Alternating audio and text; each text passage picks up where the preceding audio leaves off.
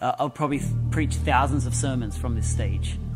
There's so much potential of what music's going to be created in this space. And it's not just the music, it's not just the sermons, but what they're going to produce in unlocking people. Uh, this is already a sacred space. This, this is holy ground we've paid for it in sacrifice. It's cost us something. That's what's made it holy. We've already separated under God, pouring out oil of anointing on this place, saturating it in prayer, inviting heaven in, and making sure that this is dedicated. Holy means set apart. And this is set apart for the work of the Lord.